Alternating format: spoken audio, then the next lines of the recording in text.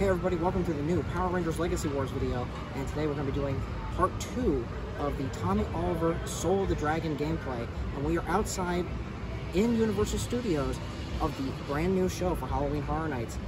Who's ready to go see it?